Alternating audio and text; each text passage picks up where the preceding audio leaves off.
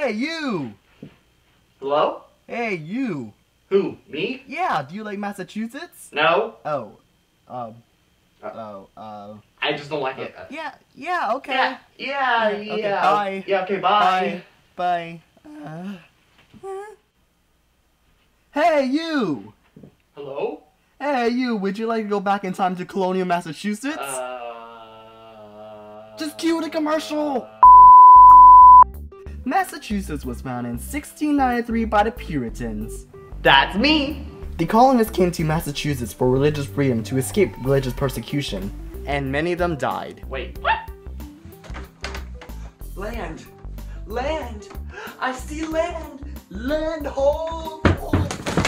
And they weren't tolerable of other religions. Wait. Wait. What are you doing?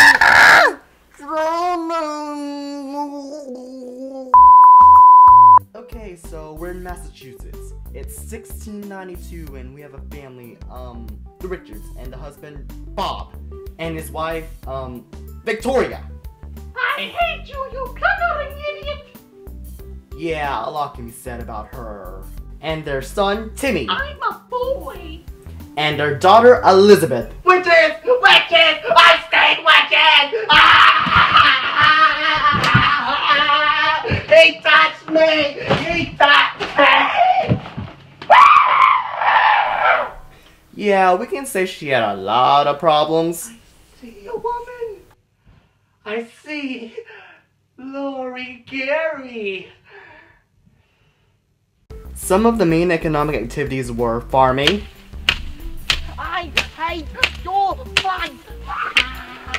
livestock,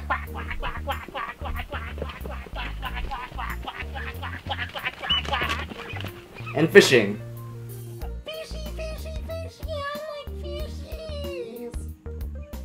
Good news! Marriages were based on love instead of arranged marriages, but if you wanted a divorce, then it was possible.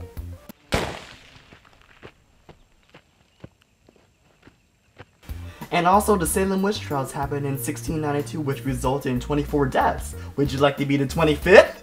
Witch! Witch! Witch! Witch! Witch! Witch! Not witch! Witch! Witch! Yay! Witch! Witch! All of you need help. Warning, if you get hurt, stabbed, killed, molested, burned, shot, persecuted, kidnapped, drugged, etc., it's the fault of you and your mother for having you. Don't come to Massachusetts. Go to Rhode Island. It's more peaceful. Seriously, you will die. This product doesn't protect you against STDs, HIV, HPV, ABCD, EFG. If you experience any bleeding, you will die. Good luck! So, do you still want to come to Massachusetts? No!